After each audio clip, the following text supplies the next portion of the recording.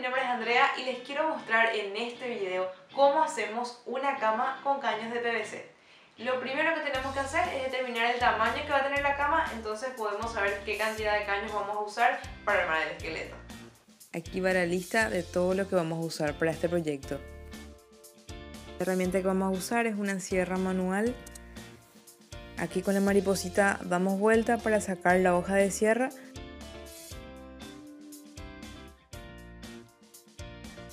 y colocamos de vuelta girando. Esta es una lámina bimetal utilizada para madera y para PVC. El primer paso es medir los laterales. Para eso vamos a cortar cuatro piezas de 80 centímetros de largo.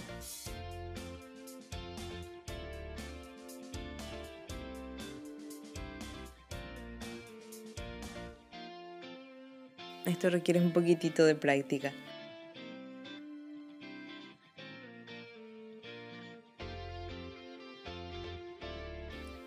Vamos a lijar todos los cortes para que no quede ninguna astilla.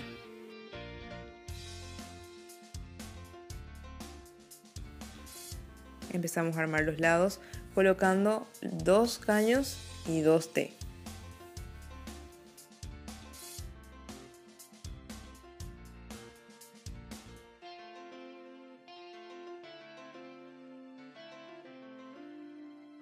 Repetimos la operación colocando la T, el caño de 80 centímetros, la T de vuelta y otro caño de 80 centímetros.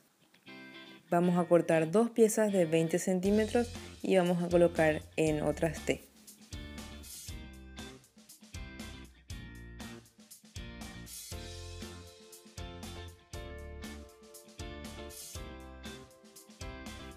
Estas partes van a ir al tope del lado derecho de la cama.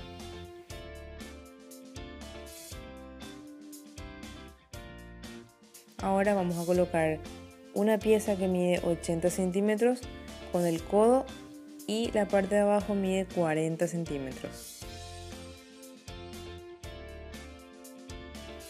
Luego colocamos la T abajo y colocamos otra pieza que atraviese de 80 centímetros. Ahí va.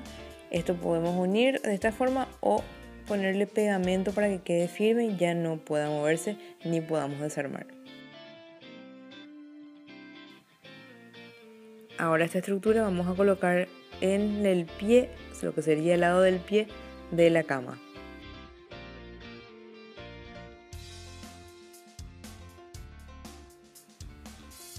Vamos a armar otro igual, pero directamente ya por la cama.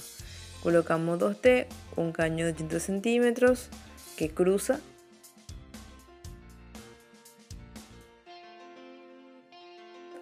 volvemos a colocar piezas de 40 centímetros en la parte de arriba de la T. Otra pieza de 40 centímetros. Colocamos los codos y otra barra de 80 centímetros que atraviesa completamente los codos. Para darle estabilidad y seguridad vamos a colocar unos tacos de pallet.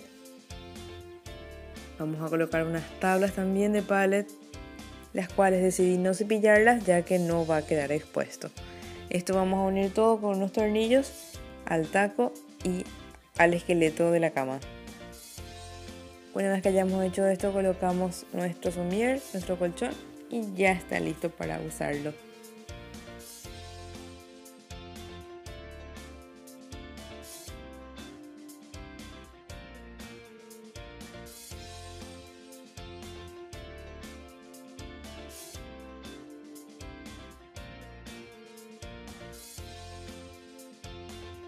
Y así amigos, llegamos al final de un nuevo video.